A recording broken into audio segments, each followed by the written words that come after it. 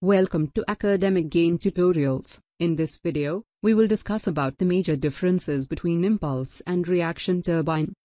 Both types of turbine are used in power plants for the generation of electricity.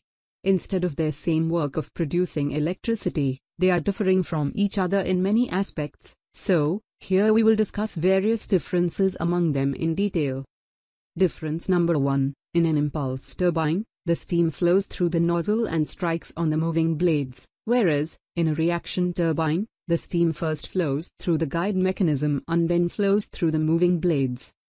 Number 2. In impulse turbine, steam strikes on the moving blades with kinetic energy only, but in the reaction turbine, the steam which glides over the moving blades possesses both pressure energy and kinetic energy. Number 3. In impulse turbine the pressure of steam remains constant during its flow through the moving blades, but in reaction turbine, the pressure of steam reduces during its flow through the moving blades. Number 4. In impulse turbine the steam may or may not be admitted to the whole circumference, whereas, in reaction turbine the steam must be admitted to the whole circumference.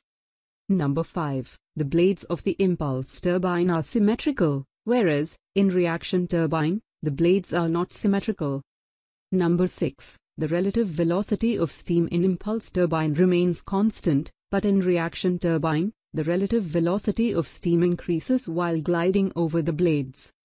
Number 7. For the same power developed, the number of stages required in impulse turbine is less, whereas, in reaction turbine the number of stages required is more. Number 8. The steam flow in impulse turbine is radial to the turbine wheel, whereas, in reaction turbine, the steam flow is radial and axial to the turbine wheel. Number 9. If we talk about the maintenance work, then impulse turbine has less maintenance work as compared with the reaction turbine.